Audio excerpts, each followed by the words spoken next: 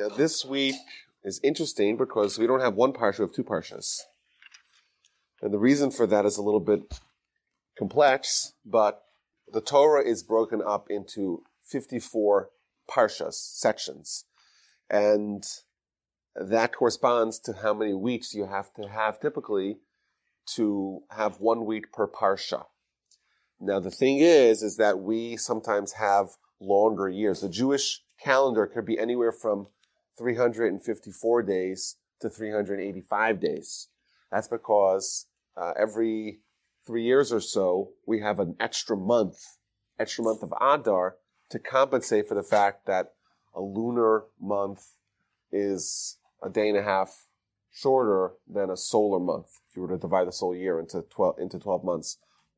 And therefore, we have more parshas than necessary on a regular year, typical year like this year, we don't have an extra month. We have four or so extra parshas that are not attributed to a week, and therefore, certain weeks we have two parshas together that we finish the entire Torah over the whole year. Okay, so the first one is Vayakhel, and Vayakhel means and he assembled. And essentially, these two parshas are going to be mirror images of Terumah and Tetzaveh. So the past um, couple of weeks we had Terumah, Parshas Terumah, and then Terumah told us the instructions given to Moshe to build the tabernacle and all the walls and all the vessels, almost all the vessels. The following week we had Tetzaveh, another uh, set of instructions given to Moshe to build all, or to create all the vestments of the high priest. And then in the intermediate last week we had Ki Sisa, which had a little bit left over of the building of the tabernacle, and then it had the whole episode of the golden calf and its aftermath, and finally the Jewish people being given another set of tablets and being granted forgiveness. And this week we have the implementation of those two parshas, the implementation of of, of Terumah to build the tabernacle and all the vessels in the tabernacle, and the implementation of Tetzaveh in the in the last parsha Pekudei, which is the implementation of the uh, of of Parshas Tetzaveh and building and uh, assembling the vestments of the high priest. Uh, so it's it's very it seems very repetitive, and of course that's one of the fundamental questions: is what's the what's the lesson? Like we could have quite simply said, the Torah is very careful. What what it doesn't say anything extra. It could have just said, and Moshe and his people and his helpers and Betzalel and all the cohorts, all of them did everything that we already talked about. But the Torah d- determined that no, we have to go through the details of everything that actually did. I think one of the interesting themes of the parsha is the fact that yes, there's the instructions to do it and the implementation mirrors it. But in the middle, we have the golden calf. So it's almost as if the Torah decided to take that episode of the golden calf and bury it between a whole larger discussion, five parshas long, about the tabernacle. And typically, uh, one of the themes of the tabernacle is that it is going to be a uh, a, a way of g- being granted forgiveness for that sin. And uh, one of the commentaries, in fact, posits that had the Jewish people not sinned in the golden calf, we wouldn't have had the tabernacle. And everything that's in the tabernacle is there to fix all the problems that we did with the golden calf. And it goes to, of course, a very granular detail. And therefore, it, it, has a whole story about the tabernacle, and in the middle, it puts in the story of the, of the golden calf. So first of all, it gets kind of swallowed into the surrounding environments, uh, but also uh, it demonstrates the connection and the fact that this is going to rectify the sins that we did in the golden calf that we spoke about last week. Now, so what does it start off? It starts off with telling us that these are the things that the mighty instructed uh, Moshe to tell the Jewish people to do. He gathers them all in, and the first thing he tells them to, about the tabernacle is that we don't work on Shabbos to build the tabernacle. Six days you do your work. On the seventh day, is holy, is distinct, it's Shabbos for God, no one does any work on it, whoever does work on it is put to death, and don't make any fires on Shabbos. And that's the introduction because uh, to tell us that everything you need to do for the Mishkan, the actual implementation of the Mishkan, that cannot be done on Shabbos. It doesn't override Shabbos. And the lesson here is that Shabbos overrides the building of the Mishkan. So, for example, uh, if we today somehow were granted the uh, political and religious inspiration to build the temple in, in Jerusalem, which is a mitzvah, uh, we wouldn't be allowed to do the construction on Shabbos. We'd have to say, okay, we'll take the, Shabbos off and we'd start on Sunday or after Shabbos. Um, and the, the, the interesting question I want to ask is normally when we're told that something is not allowed, the Torah goes out of its way and says, well, don't build the tabernacle on Shabbos. But that implies that had we not had the verse telling us not to do it, we would have thought to do it. Absent the verse, you would have thought, well, maybe you should build a tabernacle on Shabbos. Well, we already know, we've seen it prior, that you're not allowed to work on Shabbos, and all these work, all, all these activities are work that you're doing on Shabbos. So why would you have thought that absent the verse, had we not been told that you're not allowed to do it, that you would be allowed to do it? So my grandfather suggested that this does demonstrate how, or this instruction, or this, uh, this prohibition of building the tabernacle on Shabbos is echoing what happened with the golden calf. The golden calf, it was really guided with the best intentions. They, people felt leaderless, they felt rudderless, they, they needed Moshe, they were convinced Moshe's not coming back. And in their mind, it was logical to try to find alternatives. And you know what? That's not a bad argument. Uh, but the problem is that the method that they used, or the path that they took to get to their mitzvah was one that was a path of sin. And the critical error, and the Ramban himself says this, the error, it wasn't that they had this, they, they wanted to do idolatry. They wanted to do a mitzvah. But they used idolatry or idolatrous kind of activities and in practices in order to get to their mitzvah critical core problem was that they use an idolatrous path towards what their mitzvah was. And here we're told the very first thing is you have to realize you want to do mitzvahs. You want to build a tabernacle. It's a great mitzvah. It's a mitzvah that's going to bring God into our midst. You have to realize that you have to now, you have to do it not the same way you tried to do the previous mitzvah. You have to now avoid sinning on your path towards the mitzvah. And that, and indeed, the reason why they would have thought to do that is because that's how they just behaved in the previous parsha. In the previous parsha, they tried to do a mitzvah and they used the sin to get there. Well, Moshe's telling them, make sure you don't make the same mistake. Now we're trying to fix what you guys did. Don't do the same mistake. And I think, broadly speaking, that uh, uh, there, there, there, there is a, um, there's a concept, um, religious fervor, that sometimes flares up where people are so committed to their religious desires and motivations that sometimes they, they do that via a sin. There's a famous story with Rabbi Israel Salanter, who was, we talk about this a lot. He would say, you're doing a mitzvah, why do I have to suffer? There was a famous story where someone uh, was putting on his talis in shul, and he was so absorbed with the mitzvah, and he was wrapping himself with the talis, that the little strings of the talis, little tzitzis, was whipped uh, the person behind him, Rabbi Salanter. And he would say to him, like, you want to do a mitzvah, why do I have to suffer? And, and sometimes people get caught up in their own little environment, and they want to do good. They want to do good. But good that comes with the sin, well, that's, that's not okay. Uh, you know, that's the way of the Almighty is, is you know, the way of the Torah is with pleasantness. And pleasantness doesn't mean where you get so caught up into your mitzvah that you're whipping someone uh, with with your And of course, there's many many examples of this idea, but I think from the get go, we're being uh, instructed here that the mitzvah of building the Mishkan, which it's very very important, but it doesn't override Shabbos. It does seem to be uh, teaching us this lesson. So Moshe tells gathers all the Jewish people and tells them all the things that they need to donate. Gives the whole list, the same list that we had previously. So he asks for material donations and then he asks for talent. he wants people who are wise to come and help contribute to build the tabernacle, the tent, the cover, the hooks, the planks. The whole, it goes through the whole list of the things that we need to make.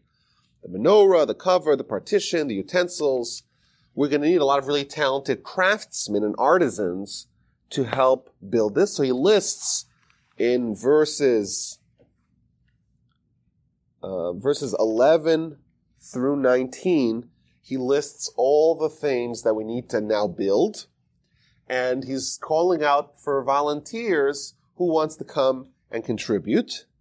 And that's the announcement that he made. This is the plan. Every he gathers all the Jewish people, announces what we need to do. First, we need donations. Then we need um, skilled laborers to help contribute to this holy cause. And then verse 21 tells us every man whose heart inspired him, who had wisdom, internal wisdom, and everyone whose spirit motivated him brought the portion of Hashem for the work and for its labor. So both the people responded, both with the material requests that Moshe had, and also with the requests for talent, for, for contributions of skill. Now, the, the sources here, the commentaries, they talk about the fact that these people were slaves just until very, very recently. It's been about a half year since the Jewish people left. Uh, the Jewish people left, just chronologically, they left Egypt. 50 days later, they got the Ten Commandments at Sinai. 40 days later, Moshe comes down. The people are doing the, uh, the, uh, the golden calf. He goes back up a second time to try to garner uh, um, forgiveness for the atonement for the Jewish people. And uh, then he comes back down, and then he gets the final instruction in last week's parsha to make yet a second set of tablets to go up a third time, and he arrives down on Yom Kippur. On Yom Kippur, he gets the final instruction, I have forgiven as you has, have requested. And that's why, by the way, our Yom Kippurs are on the same day when the greatest amount of atonement ever was given, where the entire nation, they, God said, I'm going to destroy the entire nation. And then on Yom Kippur is when the big turnaround happened, where, where the Almighty finally says, I'm, I'm forgiving them exactly the way Moshe had requested. And the following day, he comes back and they start preparing and planning for the Mishkan. So it's been a half a year, but a half a year ago, they were all slaves. And you don't imagine a lot of uh, artisans of gold and silver and intricate embroidery. And the, the commentators all puzzle over the question, where did these people, where did this know-how come from? Take people that are used to working with their hands and abrasive work and suddenly to deal with very delicate matters, to take huge blocks of gold and hew out of them very intricate uh, designs. It's not, it's not something you would typically imagine. The Ramban says that they did not do these work in Egypt. Like Bezalel and Oholiab, they didn't do this actual work in Egypt, but each one of them found some internal inspiration. And they, they just jumped into the task and they just found some sort of fountain of inspiration to do that.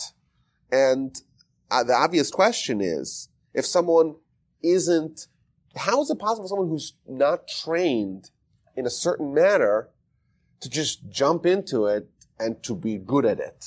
That, that's the question. And one of the answers given is that we all have like unknown talents.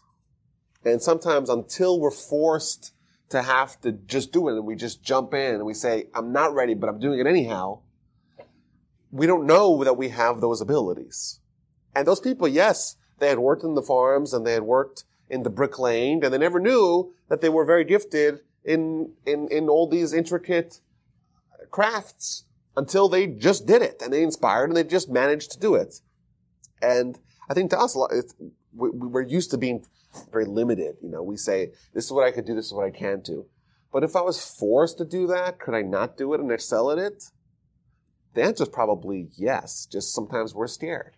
We're scared of doing things that we're not sure precisely how to do it. I'll tell you a story that happened with me. I'm still not sure I know how to do it, but um, it was uh, like four years ago. We had it was Monday before Yom Kippur. Yom Kippur was on a, was on a Shabbos, and uh, and it was Monday, so like four or five days beforehand. And the gabbai of our shul, he comes to me and it's like, we don't really have someone to lead the services in Kippur. Could you do it? And inexplicably I said yes, even though I've never done it before. And it's, it's a very long prayer and there's lots of singing and lots of different tunes and there's all different melodies and all that. And I just said, I'll do it.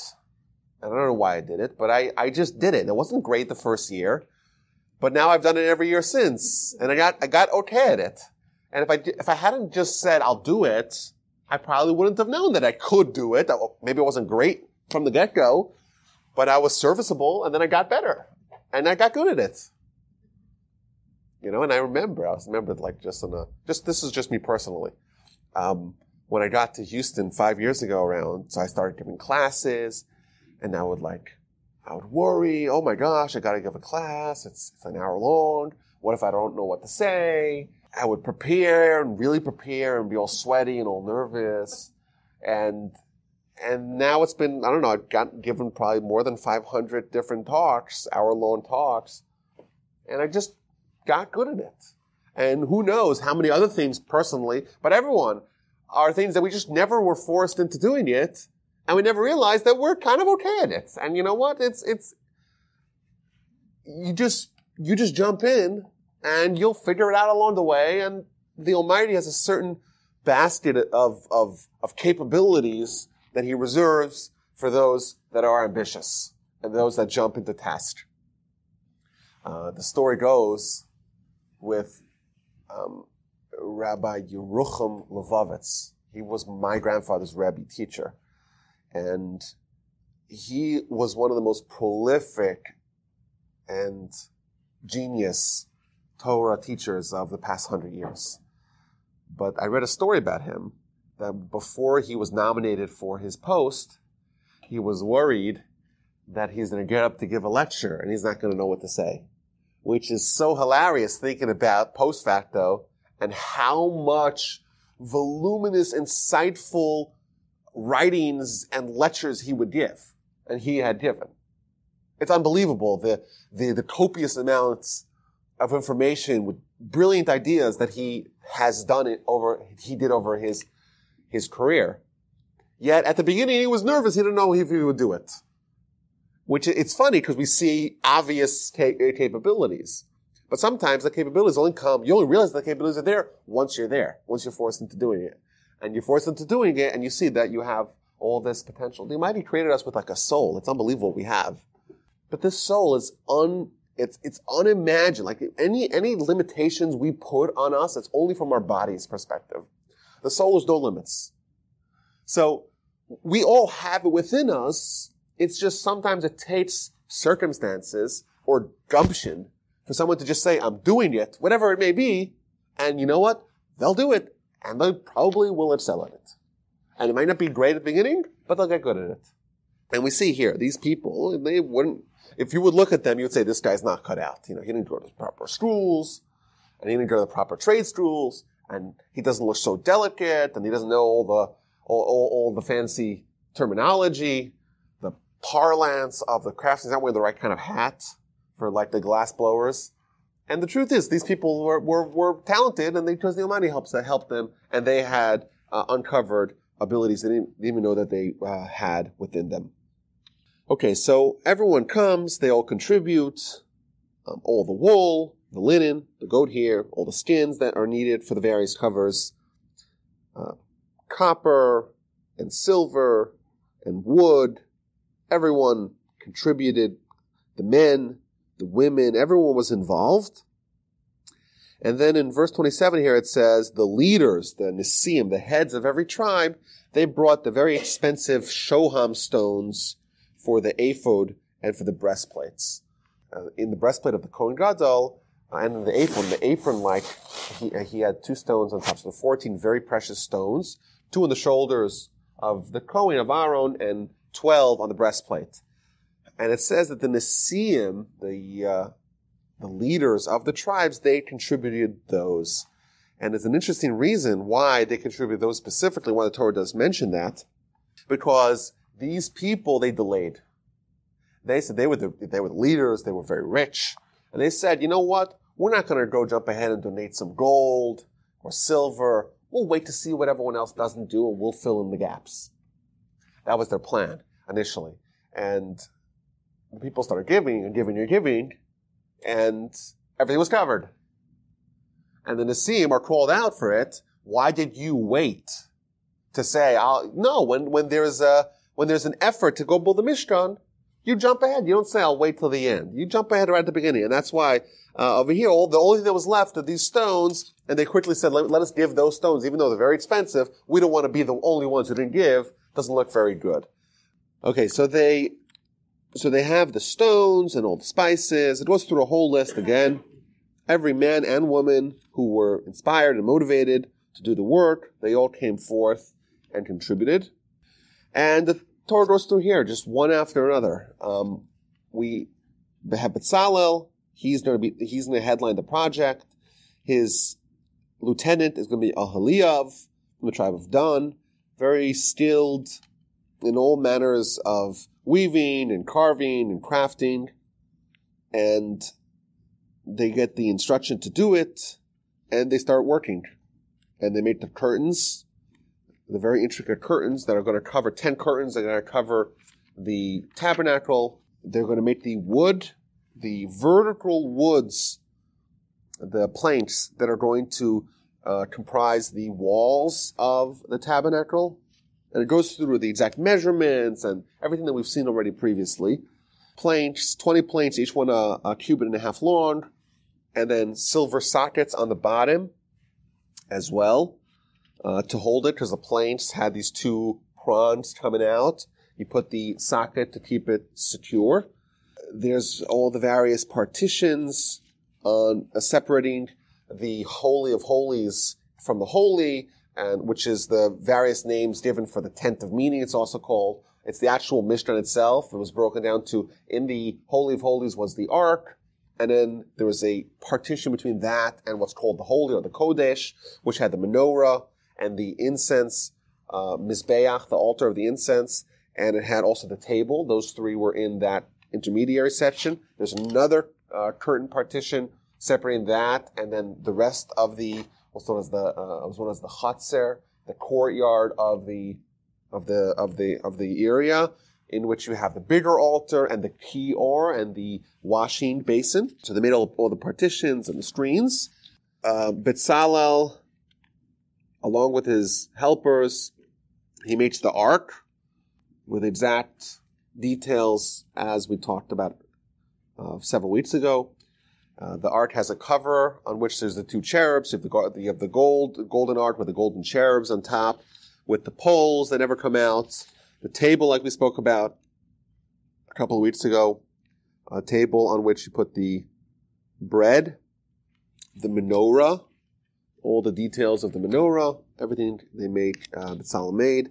And lastly, the incense offering. That was the, the those are the four vessels that are inside the actual walls of the tabernacle. So the ark, along with its cover, the table, the menorah, and the incense altar, so small golden altar.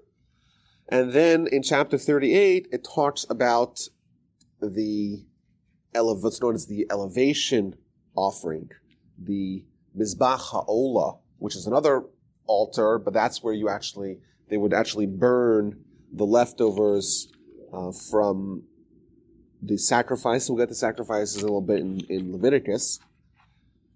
And they make that. That's outside of the actual Ohel Moed of the uh, attentive offering. Again, done all the details, all the vessels, the pots, the shovels, the basins, the forks, the fire pans, all the copper vessels. This is made out of copper, but inside of it there's uh, there's earth, there's reins to carry it, and in verse eight it talks about making the kior, the water basin, and it's made out of the mirrors of the legions who massed at the entrance of the tent of meeting. Interesting here, the kior is made out of mirrors. Where these mirrors come from? So Rashi gives us an amazing backstory here. When the Jewish people were in Egypt, they were enslaved, uh, yet they managed to procreate and to grow despite their challenges. And Rashi tells us that the daughters of Israel, so the Jewish women, they each they had mirrors that they would use to beautify themselves, to make themselves, you know, to make themselves more uh, more beautiful, and that would encourage, of course, the uh, natalism and uh, procreation, and so they come and they're donating. Uh, copper. Is there a call out for copper? And all these women show up with their mirrors. I want to donate the copper. And Moshe says, uh, I don't know, I don't know, I don't know if we should use these mirrors. Should be used. The mirrors that are used to evoke the Yetzer Ra, so to speak. These are the mirrors that should be put in the temple. Doesn't seem proper. And the Almighty tells him, no, you accept these because these are the most beloved to me because through these mirrors, the Jewish women, they established legions, many legions of Jews in Egypt. And therefore, we'll make the kior, the water basin, out of this because the water basin on the more esoteric level was there to ensure that there's marital peace between husband and wife. An amazing idea. Think about this. Moshe is there. He's fundraising and he's calling out, and everyone's giving the gold and the silver. Amazing generosity on the hands of the people. And then he makes a call out for copper. Why? For the kior. And all the women show up with their, with their mirrors. And Moshe says, I don't, I don't think this is appropriate. And God says, no. This is specifically what I want because this is really holy.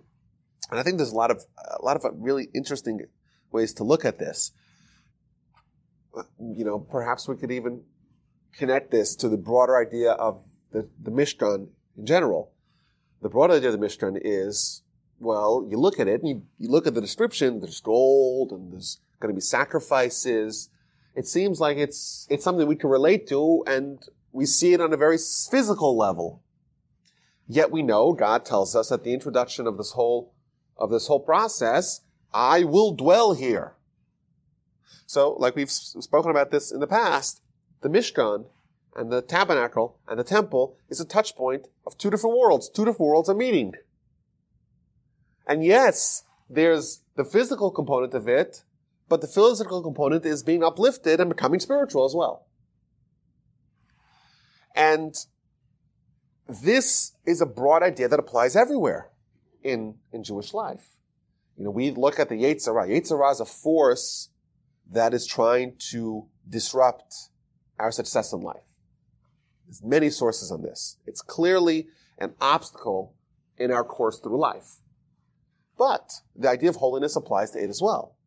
The idea of taking the physical or something that can potentially be used uh, and to disregard the Almighty and using it to uplift it to make it holy. And Moshe is saying, wait a minute, this is something that it has the Yetzer Ra. I don't want this over here in the temple. Temple's holy. And then I says, no, specifically, this is what we're going to use because this is the kosher version of the Yetzer Ra. It's the Yetzer Ra that's used for a mitzvah. It's used for holiness. It's taking the mundane and making it holy. And thus, not only is it okay, it's specifically what I would prefer for the tabernacle. I think it's just a, like an, an amazing idea. The Talmud tells us that when the verse in Genesis tells us at the end of the description of creation, it says that the Almighty saw everything that He made, v'hinei tov ma'od, and behold, it was very, very good. It doesn't say it was good, it says it was very good. So, so, so the, uh, the Midrash tells us that when it says, if it would have said it was good, that would be a reference to the good inclination, to the Yetzer Tov. The fact that it says Tov Me'od, very good, it's a referring to the Yetzer Ra, which seems problematic. The Yetzer Ra, in its name, the evil inclination, is called bad. It's a bad inclination. How could a bad inclination be very good? So the Midrash explains, because if someone did not have that, they wouldn't get married, and they wouldn't build a house, and they wouldn't plant a vineyard. But among, so what does that mean? It's a separate question. I wrote an essay on it if you're interested. Um, what does that mean? Like, why, if we didn't have the Yetzer Ra, would we not want to build a house or get married? But either way, it, it does show that something that generally speaking is called bad, it has iterations of itself where it can become not just good, but very good. Moshe is looking at the mirrors and he sees Yetzer Ra. It's bad. And the Ryan tells him, no, no, no. In this context, it's Tov Mo and it's exceedingly good. And therefore, it's the choicest of what I want to use. I'm going to put it into the, into the, uh, into the Kior, into the Mishkan. And the first, the first parsha concludes with continuation of all the things that Moshe, that, that Bezalel and his helpers made, the pillars, pillars that upheld the outer courtyard, and the screens of the courtyard. Uh, thus concludes the parsha, where it's um, really goes through the actual uh, building of the implementation of the building of the courtyard and the Mishkan, as we were told, uh, as Moshe was told in uh, in Parshas Terumah, the instruction. Now they have the implementation, and Bezalel begins, he fulfills the instructions to build everything in the Mishkan, and we start again in this week's Parsha, in the next, the next Parsha, the second Parsha, Pekudei, which means like the instructions. And again, Bezalel is going to oversee that to build, to, to establish all the themes necessary for, for the, uh, for the Kohens. So the, the, the, the, the priests, they're going to have all the things needed for them, like all their garments, for example. And that's going to be done as well with Bezalel and his people. Now, there's an interesting midrash here at the beginning, which does seem to answer one of the questions that we we presented earlier. Why, why, why is there so much detail and repetition? Why do we need to be told and retold everything that was instructed and now it's finally being implemented. Why not just say Moshe did everything, Moshe and Mitzal and all the people did everything exactly like you could just reference earlier. Um, so the Midrash tells us that Moshe is a trustworthy person because everything that he did, all even though there's and the beginning of this is parsha does go through the volume of material needed for everything. And it's an astonishing amount of gold and silver. And everything's being delivered to Moshe's house. His pallets full of gold being brought to his house. And of course, there's the temptation to take a slice of the action. To, you know, take your, take your due, your due. And the Torah is retelling us everything of this whole parsha to show Moshe's integrity, the fact that he was totally trustworthy. He didn't take a single even a tiny little slice or sliver of it for himself. Everything was donated for the holy, uh, for the holy uh, activities. There was a prime minister of Israel, Levi Eshkol, in the 60s. At the time, still happens a little bit today, but the early development of the state of Israel, there was a lot of fundraising that the actual state did in the United States, where American Zionists would actually donate money in the form of bonds or just straight up cash towards the state, the fledgling state, it could get on its feet. So Ben, so not Ben Gurion, uh, Ben Gurion's successor, Levi Eshkol, he told all the ambassadors and all the all the people, he says, take a little bit of uh, of the bounty off the top, just to just skim a little bit. It's okay to skim, and then he invoked a verse. The verse tells us in the Torah, "Lo som shor which means there's a prohibition. If you have an animal that's working on your fields, plowing the field, you can't put a muzzle in it. Why? Because it's working for you to help build the, to help make the, the plant all the vegetables, and you have to allow it to partake in the actual vegetables. So that's what Levi Eshkol said. He said, these people there, they're fundraising, they're helping us with, so to speak, you can't muzzle them. They have to be allowed to take a little, skim a little bit off the top. Uh, that's not the way Moshe did it. Uh, and in fact, the Midrash even tells us that when Moshe would go into the warehouse where all the gold is, he would take a special garment that didn't have any pockets in it. So no one could even say Moshe is coming there and he's and he's lining his his pockets with with all our tax money, you know, our, our terumah money for the temple. He would, and he would go out of his way to show that, to show, to show that this is money given for the, uh, for the Mishkan. I'm not going to touch even a little bit. Um, and that's why it tells us all the details that everything that Moshe did precisely the way uh, he was instructed. Now it goes through at the beginning over here in verses 34 through 29. It goes through just the measurements of how, men, how much gold and silver and other materials were collected. There's an interesting correlation brought here in verse 27. Verse 27 talks about how many talents of silver were needed for the sockets of the sanctuary. It's interesting. The sockets, they uh, were, were told that every every person made a donation. There was a there was a head tax on everyone, a half a shekel. But there were also other parts of uh, of the donations that were whoever wants to give gives, whoever doesn't want to give doesn't have to give. But there were some things that were mandatory for everything, specifically the sockets of the planks, which is like the foundation of the Mishkan, that came out of the fund of, of the half shekel where everyone gave. And the idea is that everyone should contribute towards the foundational ideas.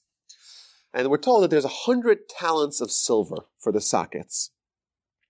So one of the commentaries notes that this hundred talents of the silvers, they correspond to the hundred daily blessings that every Jew needs to make. We spoke about this a couple of years ago, uh, that there's a hundred blessings that we're supposed to make every year, every day. And the commentaries note that the hundred talents of silver are somehow correlated. So the question is, of course, what does that, what does that mean? What, what's the connection between the silver sockets for the plates and the hundred blessings that we make every day? And I think the answer is, is kind of a deep idea. And that is that our objective in life is to become a replica, so to speak, of the Mishkan. Like we said, the Mishkan is a touch point of the physical and spiritual worlds. We're physical, but we also have a spiritual element to ourselves, our soul. And our objective is to try to unearth that and make it a, a, uh, a, a symbiotic relationship with our body and soul that are working together for God to make a place where in our hearts, so to speak, God could be, God, there could be a dwelling place for God in our hearts. And the foundation of that is a blessing. A blessing is something where I'm bringing, I'm, I'm having a fruit or a drink of water. It's a physical activity. And what do I do? I blanket it with spirituality, with a mitzvah, with a blessing, and I'm invoking God. And thus, this is, the, so to speak, the foundation where the daily reminders of bringing God into our world with the blessing, that is the underpinnings of our internal Mishkan. And therefore, there is this idea that they're connected with the sockets that they, just like the sockets came from everyone, everyone had to contribute, everyone has to do 100 blessings. And on top of that, we have to kind of go on our own. But there's the structure that allows us to build a framework for making our hearts also a place where it's hospitable for God. A very interesting idea, I think, that does bring this whole discussion to make it more relevant to us. Now, chapter 38 here, it, uh, verse, verse number one, it ends off that they, they fundraised all the stuff as Hashem commanded Moshe and actually counted how many times does that, those words, as Hashem commanded, tziva Hashem es Moshe, like Hashem commanded Moshe. In this parsha, Pekudei, it actually appears 17 times, an astonishing amount of times. It, uh, after everything they did, it, it, it ends with Kasher Tziva Hashem es Moshe. And the question is like why why are we emphasizing it could very simply like, like we said the torah does not want to tell us anything that's extra it could have just ended up the whole parsha list all the things that they made and said all this was done in accordance to the way the almighty instructed moshe it after every station, every stop, every juncture says, this was done like Hashem told Moshe. This is like Hashem told Moshe. This is, again repeats it again and again. So what's the significance of that? So the Beis Halevi, one of the commentators on the Torah, he emphasizes that the critical sin, like we mentioned earlier, the critical sin of the golden calf was not with the intentions. The intentions were, were just. They had a, they, they had a leader who was provided so much guidance. He's gone in their minds. And it, it made sense. It's good intentions to say, let's try to find a replacement. That wasn't their problem. The problem was that their actions were against God. God said, don't make any images, and they made images. And they thought they're smarter. They, they thought that I'm gonna, I'm gonna, I'm gonna outthink God and I'll, I'll do something because of my, let me, let my intentions override what the Almighty actually said because my intentions are so noble. And the intentions were noble, but we see the lesson is that we have to do, intentions are critical, but the behavior has to be in line with what the Almighty tells us. And even though uh, we can't say that let's take our intentions and deviate off the path of God. Now, the building of the Mishkan is done to rectify the sin of the golden calf. And this the Torah stresses again and again and again. Everything that Moshe did was because the Almighty told him to do it. And repeats it, and repeats it, and repeats it to show that this is coming to counteract what had previously been on display, where people do things because they feel inspired, they feel this is the correct way to behave, and that's what they just, they just do it, and they, irrespective of whether or not those actions are actually ones that the Almighty instructed them to do. And by invoking this again and again, we, we're teaching us that this is coming to fix the golden calf. Uh, we're told again in the, in the Talmud that there's the golden calf, and then there's the cow or heifer that appears a little bit later, the red heifer. And the Midrash gives us an example of how these two are related. So they're both a calf is a small cow.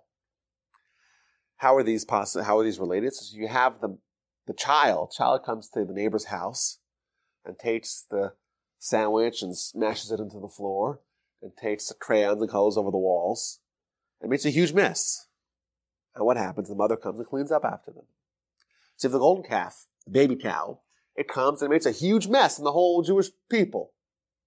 Comes along the mother, the red heifer, and she's going to clean up the mess after them. That's what the Midrash tells us. That, that, that's there to fix it. And indeed, if you look at it like on a, a deeper level, the sin of the golden calf, the intentions were amazing.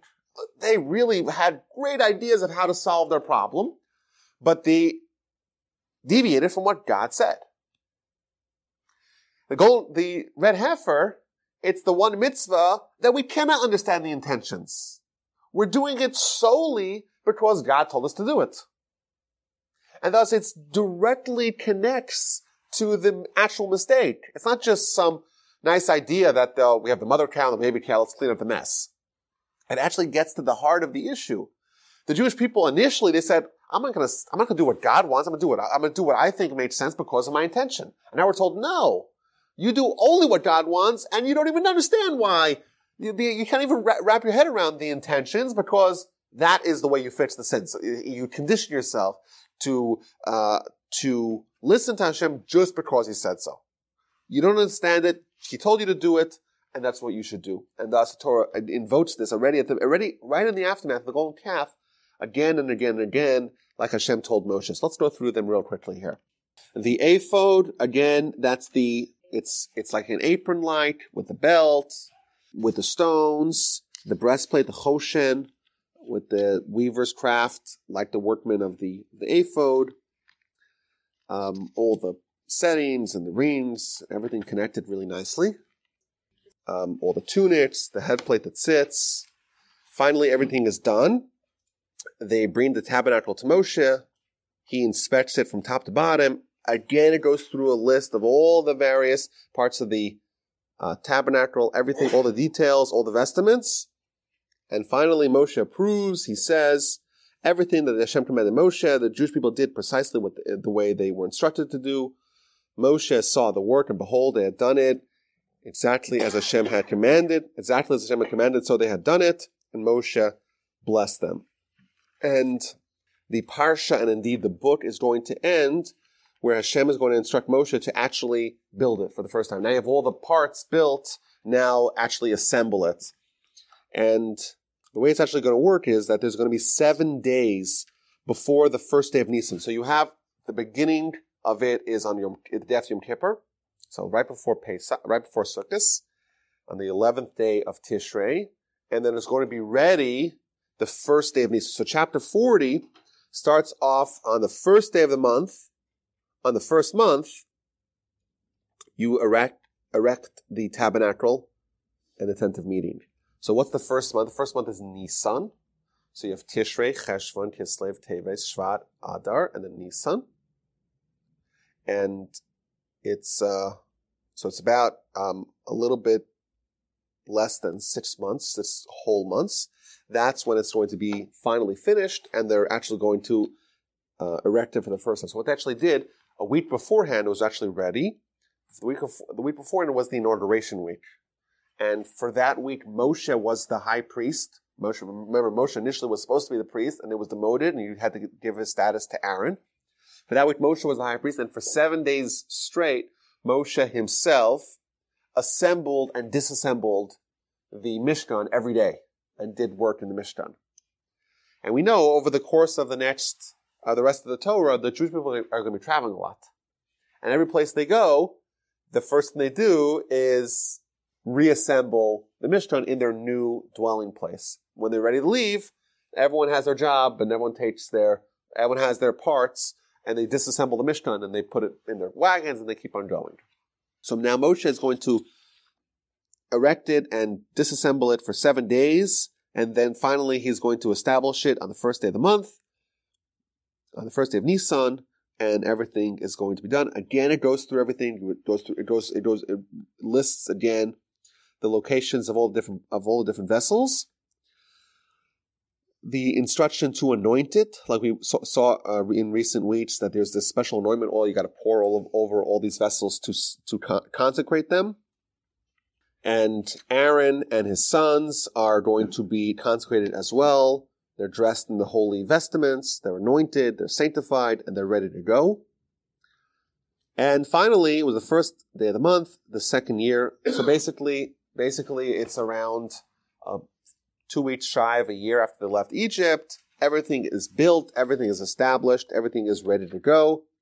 They put all, they actually erect it. They put the uh, t- they erect the tabernacle with all the covers, with the ark. They put the ark in the Kodesh HaKodashim, in, uh, covered by the partition. They place a table and the, and the menorah and the golden altar, alternatively called the incense altar, in the tent of meeting in the Mishkan. They have another curtain. They put the, uh, it's going from the insert to out. So they put the ark, and then the, uh, and then the table, and the menorah, and then the altar. Another curtain the kior, the basin, and the big altar. Everything is erected. And finally, the parsha ends with the cloud now covers it. As everything was completed, this cloud of God's of God's presence uh, begins to cover the entire area. The glory of Hashem fulfill, uh, filled the tabernacle, and even Moshe didn't want to go in until he was invited to come in, even though he himself had invested so much time and effort to do it. Moshe, this is one of Moshe's uh, hallmarks, is that even though he had the rights to come in, he was, didn't come until he was invited. And this cloud would be their guide for when it's time to move. Whenever the cloud lifts up and starts heading out, everyone quickly disassembles the Mishkan and starts following the cloud wherever it's going to take them. And thus concludes the Parshas, and thus concludes the book. The book of Exodus is a fantastic uh, transformation. We started off the book, we were slaves. We quickly became slaves in the, in the very first chapter of the book of Exodus. Second chapter, we meet Moshe uh, with miraculous uh, events and happenings. He ends up growing up in the house of Pharaoh and he achieves greatness. He has to escape and he is ushered back to Egypt by God, unwillingly at first, of course. He, uh, the Almighty unleashes tremendous plagues upon Egypt, humbling them, severely uh, diminishing them, and again transferring the Jewish people's allegiance from Pharaoh to God. Finally, they have the Exodus after all the plagues. They leave, the splitting of the sea along the way. Ten Commandments, they reach the acme of human achievement. Unbelievable. Jewish, the Jewish people themselves, they're alive and they're hearing God, prophecy. Uh, unfortunately, it doesn't last very long. It comes to a crashing, crashing halt. Uh, but before that, we get Parshas Mishpatim, uh, all the laws of interpersonal. Right after we have the Ten Commandments, we're right away thrust into interpersonal laws. It's important for us to realize that we have this balance in our lives. We can't just be uh, be righteous to God, but be righteous to our fellow man as well. Uh, in before we're told the details of the golden calf, we have the two parshas that tell us about the tabernacle and the vestments of the high priest, respectively. The story of the golden calf, the devastation, and the reclamation project. And finally, at the end of this, we have the cloud of Hashem. The very last paragraph, the cloud of Hashem is there above the Jewish people and above the tabernacle. This is uh, we are we have achieved our destiny. Pretty remarkable. I want to show everyone here. We have some extra time here. There's uh, an amazing midrash here in this this parsha that makes a connection, a curious connection. It's not really relative to the actual flow of the parsha. It's more like an idea, a broader idea. It makes a connection between three themes, and it does it does it textually and also does it uh, conceptually. And the text is that three verses that talk about the Almighty creating something with wisdom, or creating an entity with wisdom. And one verse is that Hashem created the world with wisdom. And another is that Hashem created uh, man, Asher Yatzaras Adam b'chachma. God created man with wisdom. And the world and man is created with wisdom. And the verse, the Midrash tells us that man is his mini world. Many, interesting idea. And lastly, the Mishkan was also created with wisdom. That uh, Betzalel had wisdom that given to him from God to create the Mishkan. And it makes an, a very curious connection here between the formation of the world and of man and of the Mishkan, as if these three are, are, are different dimensions of the same thing. I just want to share a little bit over here because I think it's it, it's it is relevant to the parsha and of course it's relevant to us as well.